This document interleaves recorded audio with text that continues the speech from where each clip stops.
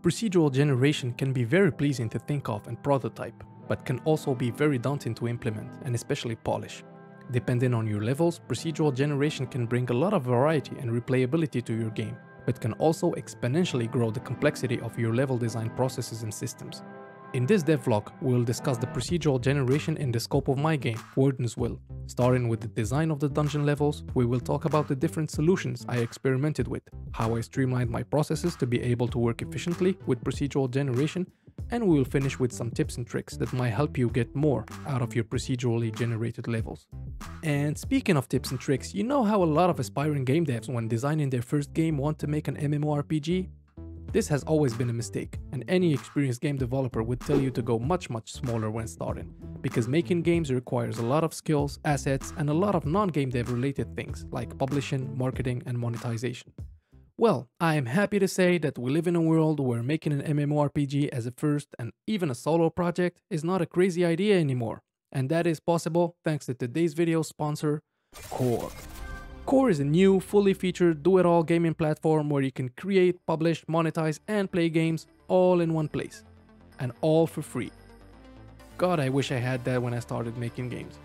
It is absurdly easy to use and has almost no learning curve since no coding is required. It is based on Unreal Engine, which makes it insanely powerful with high quality AAA graphics, and they did a great job of abstracting most of Unreal's complexity to make it basically the easiest game creation platform I've ever used and I've used a lot of them. Seriously, I just launched Core and after like 2 minutes I was... What? Enjoying a Deadmau5 concert?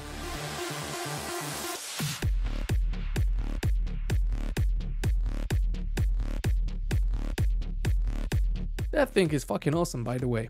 Core offers thousands of free music, sound and art assets you can use in your own games. There are many advanced templates you can start from with a lot of functionality and online multiplayer is natively baked in all of them if you do know how to code. However, you can create your own game logic in Lua.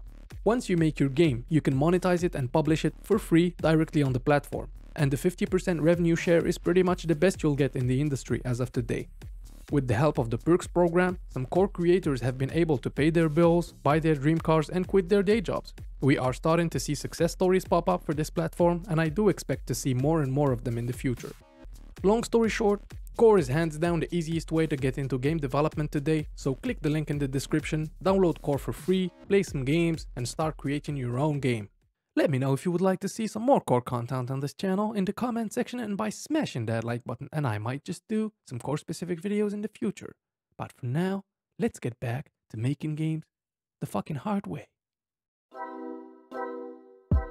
Level design is a very time-consuming part of game creation, and this is especially true if you do not have a good enough level design experience and knowledge. You can end up remaking levels and changing them which can blow up the work hours required to get to good enough results.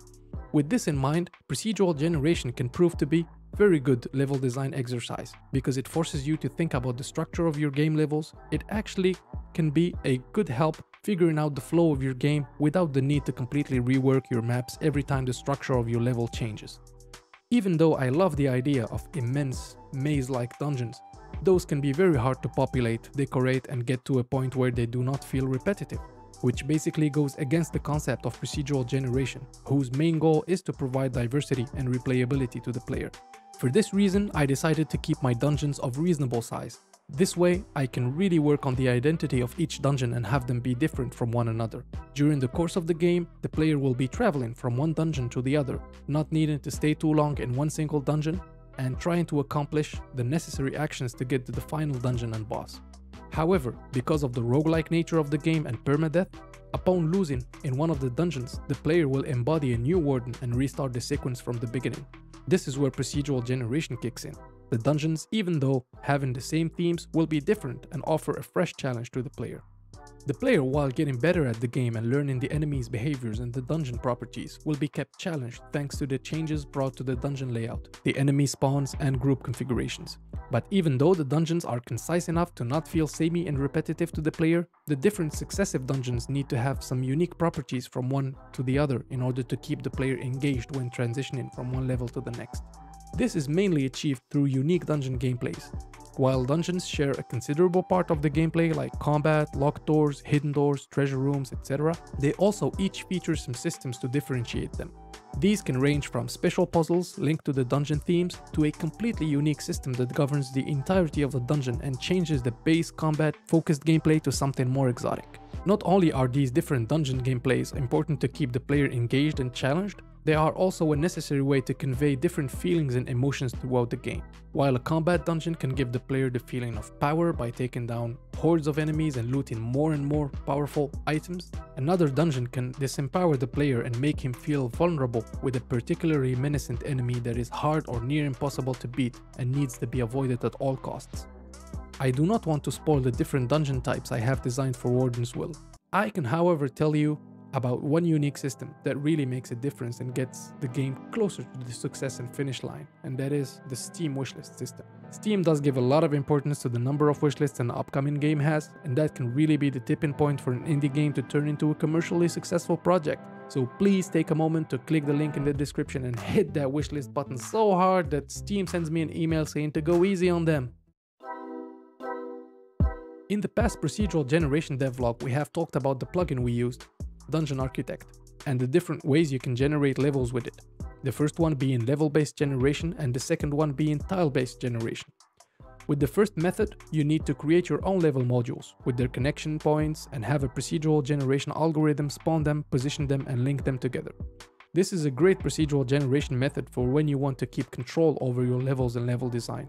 It allows you to have authored content and have it placed and arranged procedurally.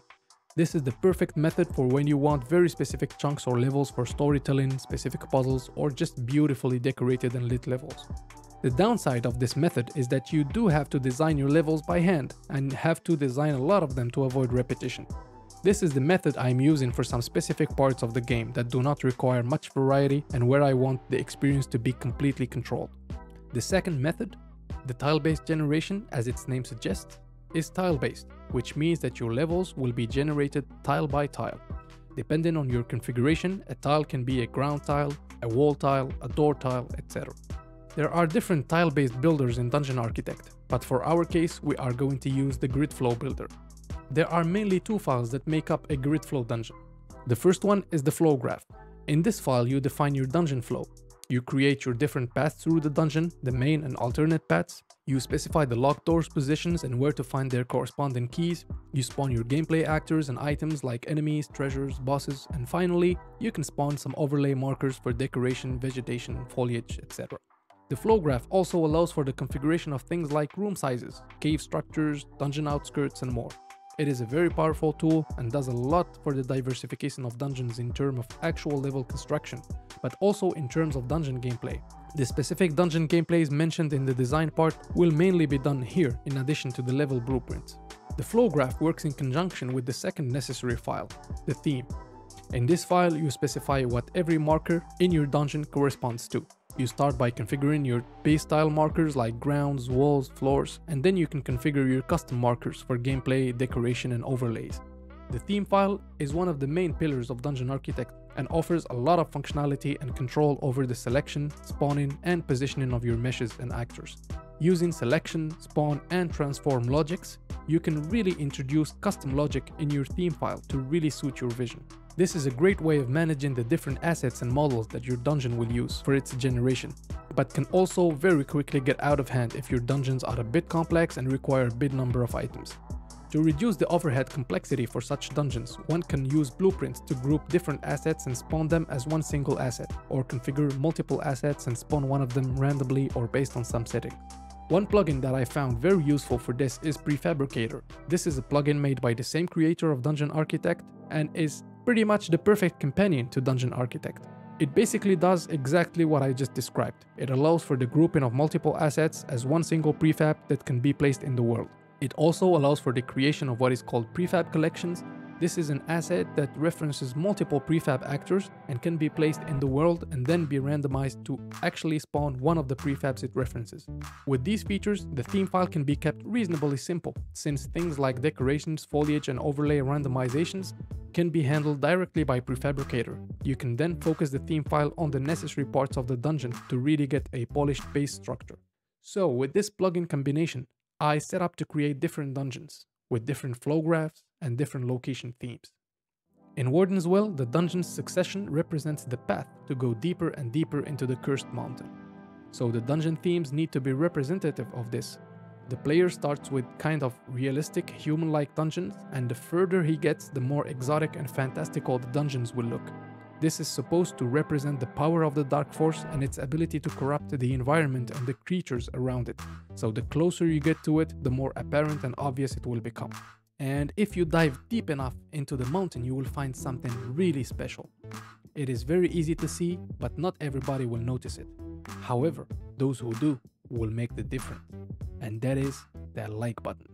So if you are enjoying this devlog, please take the time to show it to me and to the YouTube algorithm. It does help the channel immensely and motivates me to make more content like this.